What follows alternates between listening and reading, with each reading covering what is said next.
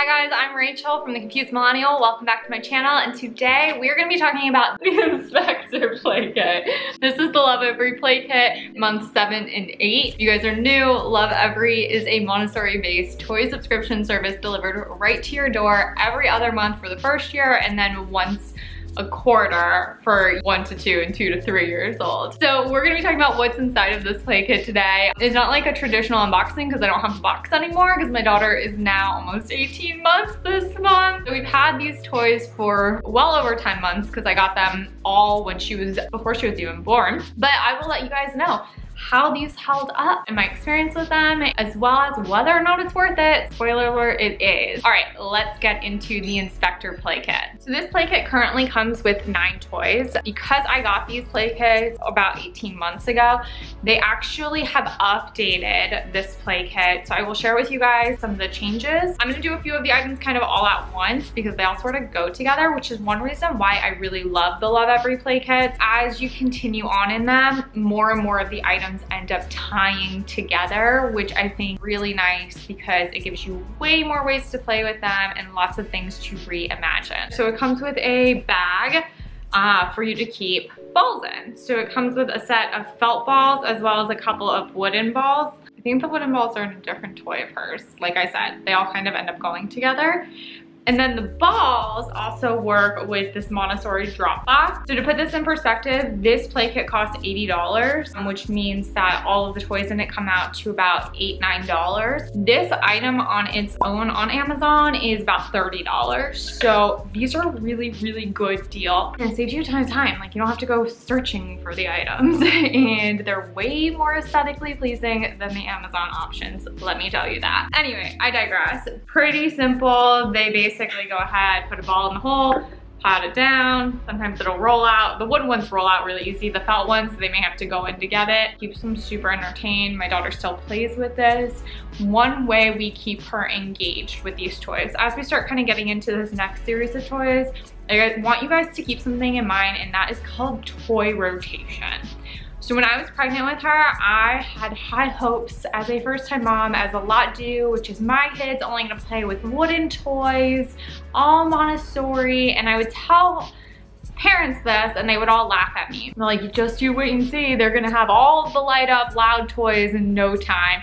Those wooden toys don't hold their attention. They were wrong. um, I'm happy to report that and I think a large part of that is because we utilize toy rotation where we really only set out about five to eight toys for her at a time. And once she hasn't touched an item for a few days, we put it away. And when I say we put it away, we put it away out of sight goes into a room, the, the door is closed, she can't see it, she totally forgets about it, and then we'll bring it back out about a few weeks or a month later. Becomes a whole new toy again, and she loves it. Keeping the toys minimalist, where you only have like five to eight out at a time, also helps your child develop a deeper, richer, more focused play, which has been our experience. I know people are always really surprised when I say our daughter can play on her own for like 20, 30 minutes. And I will just leave a link to a blog post on toy rotation in the description box below from Lovevery.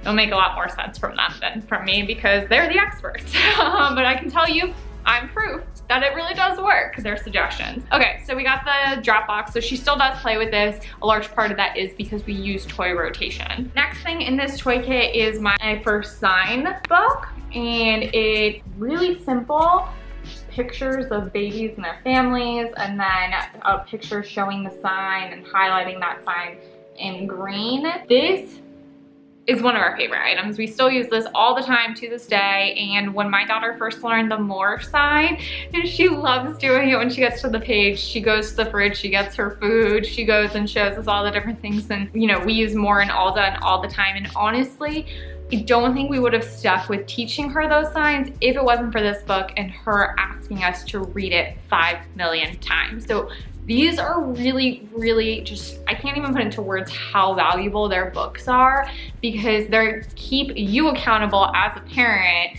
because your kid's gonna wanna read it five million times and actually teaching them the words on the page, the sign language skills and all of that type of stuff. And this has made our life so much easier as we're waiting for our daughter to start talking. The original first version of this play kit also came with this book, the Things I See book. This book is no longer offered in this play kit. They swapped this out and instead it's a Things I See textured card which looks way better than this. One of my only complaints at, with the Lovevery play kits up to date that I have is that we never got, you know, one of those books that had a cat and then the the feel, like the texture, and they rectified that in the updated version of the Inspector Play Kit, and now they have animals with different textures, and it looks like they nailed it, as they do everything, and another reason I love Every, because they're actually taking feedback from people. I'm guessing that this was probably other people's least favorite book of all of theirs too, and they're going ahead and updating it and giving you guys even more value. That's the item I don't have and what they switched it out for. Next item in this play kit is a set of nesting cups or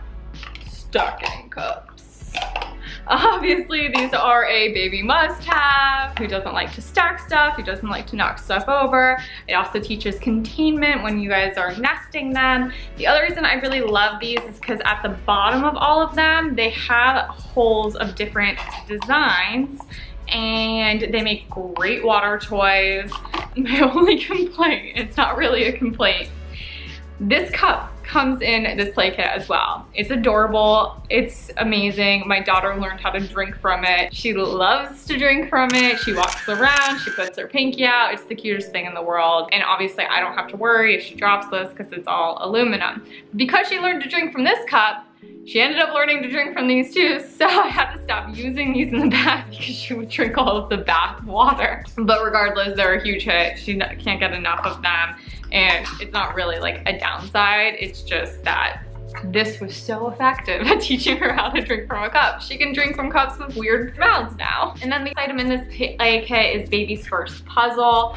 True Lovevery Fashion, my daughter's obsessed with it. And I love this one in particular too. She's obsessed with it because it has a baby space. If you don't know by now, kids really like to look at other kids. Another reason I love this, this knob, it's a little bit bigger, so it's easier for a seven to eight month old to actually successfully do this puzzle. But my daughter loved to put everything in her mouth, particularly really liked this knob. So it also worked really well for mouthing things. The other reason I particularly as a mom love this puzzle is because you guys know if you're traveling, you're in doctor's appointments, you're doing different things, you want to have good items that you can throw in your diaper bag and take with you. And this is so small. It fit perfectly in like a little to-go pack, but it fit perfectly inside of here. And I could just take it and go and I knew she would have something to do. Whereas, you know, some of the bigger puzzles, like you can't throw that in your purse. You can't just like whip that out in a waiting room. I'm really appreciative of having this size puzzle too in your toy arsenal, if you will. Make sure to hit that notification and subscribe button because next time I will be unboxing the Explorer Play Kit for months 9 and 10. Go ahead, subscribe, get 10% off. All of the details are at Lovevery. I'll leave a link to all of that in the description box below. You guys can catch my overall high overview answering all of your questions about Lovevery video here, as well as the past play kit reviews here. And if you have any questions outside of that though, my name is Rachel. You can hit me up on Instagram at The Confused Millennial. Until next time.